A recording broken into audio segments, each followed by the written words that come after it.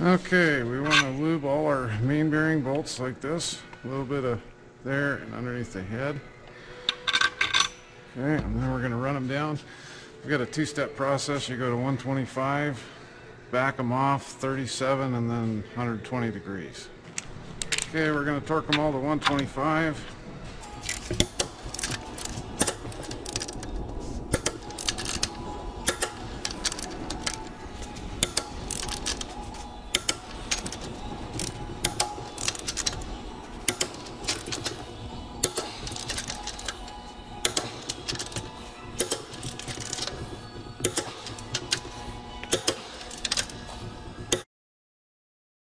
Kind of a weird torque procedure, but they have us back it off, loosen them all.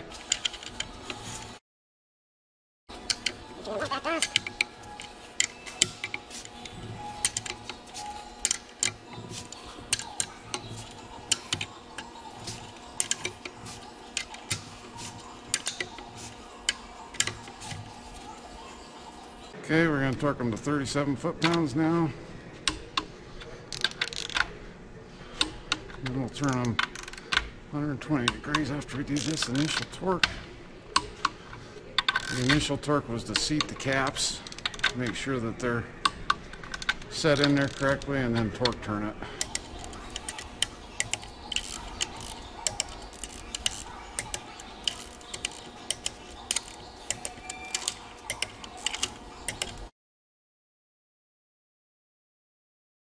Okay, we're going to turn from there. We're going to end up right there.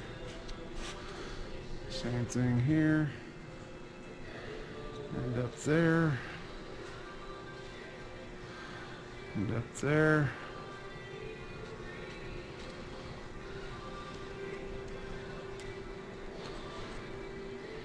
Make sure there's no oil on it either, is the other thing.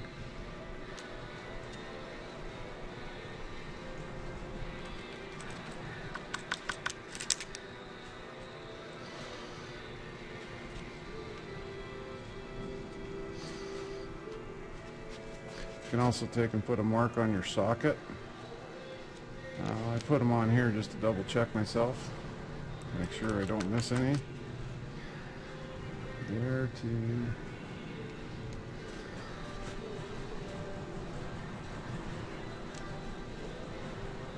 there to there.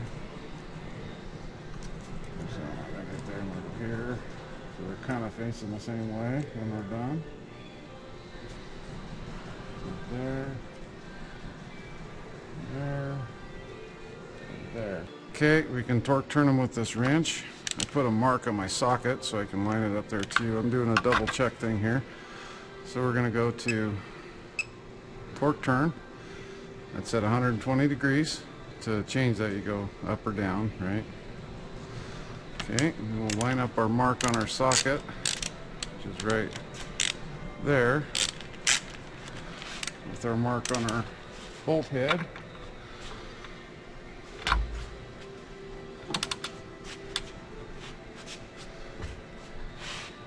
Watch as I ratchet it. 78 degrees.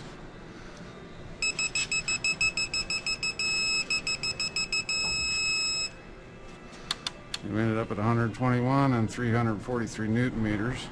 Go back to our degrees. So if we converted 343 to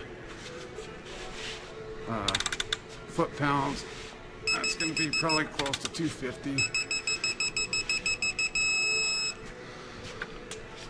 Yeah, I can double check my marks here as I do this. Oop. Okay, so I'm going to go, have to reset it.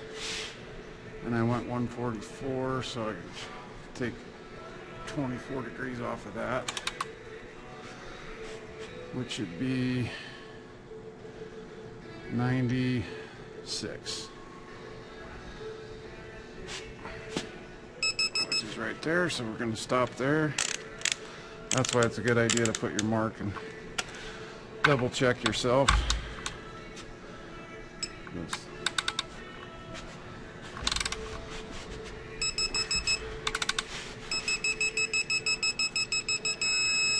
120 again. 329 newton meters.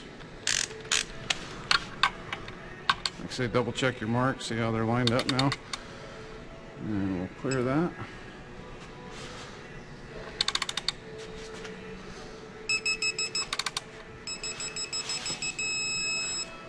Hundred and twenty-four.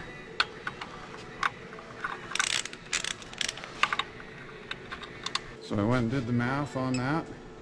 The 328 newton meters that comes up at, um, or 328 newton meters comes up at uh, 238 foot pounds. Okay. That one's done, that one's done. See, I would have forgot I'd already done this one. They say this is a way more accurate way of torquing.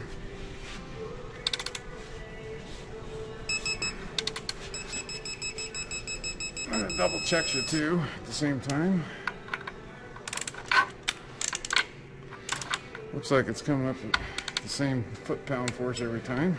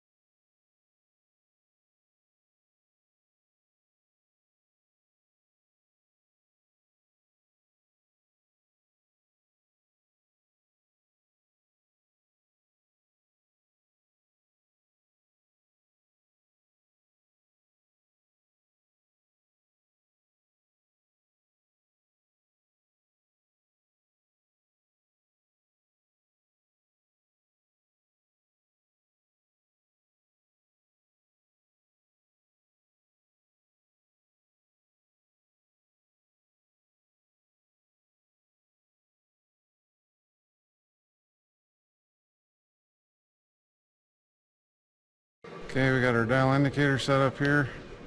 This is a digital. Uh, so it's zero now. What we're going to do is pry the crankshaft back and forth. Let's see what we go this way. So we'll zero it there. Okay. Go the other way. We've got nine thousandths, ten thousandths. That's within spec. Uh, look up the spec. It's going to be somewhere between two to twenty thousandths or so on the endplay.